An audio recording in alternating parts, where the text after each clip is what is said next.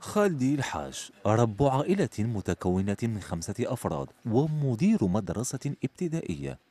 بعد الانتهاء من الدوام اليومي بالمدرسة يقوم بالتوجه للمحلات التجارية من أجل قضاء حاجيات منزله وخاصة المواد الغذائية العامة. فهذه الأساسيات تكلفه مبلغ تسعة آلاف دينار جزائري شهريا. أنا كمدير مدرسة ويعني بشهر يعني عندي شهريتي ومدخول شهري. وما راناش لاحقين نوفروا كل مستلزمات ومتطلبات ال- البيت. غرفه شهرية اليمونطاسيون فقط تلقى منها حوالي 8500 دينار إلى 9000 دينار جزائري شهريا. هذه هذه اليمونطاسيون فقط بدون خضر بدون فواكه بدون لحم بدون كراء بدون غاز بدون ماء بدون أي شيء. الراتب حاليا آه، 37000 دينار جزائري. مقارنة مع القدره الشرائيه ما تكفيش. ما تكفيش. أنا عندي ثلاث بنات.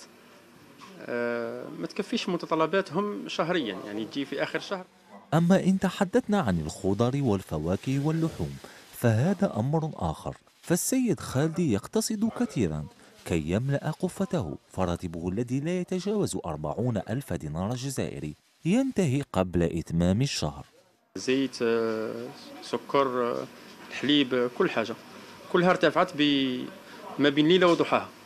ولذلك ال- القدره الشرائيه راهي جد متدهوره بالنسبة لواحد شهر. فما بالك الواحد اللي ما عندوش دخل ولا اللي عنده دخل ضعيف؟ كاين الناس راهم يخدموا معنا ب 5000 دينار جزائري.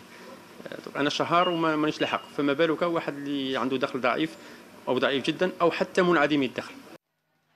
إذ كانت القدرة الشرائية منهارة بالنسبة لمدير مدرسة ابتدائية فما هو الحال بالنسبة للمواطن البسيط ذو الدخل اليومي المتدني ناهيك عن منعدم الدخل؟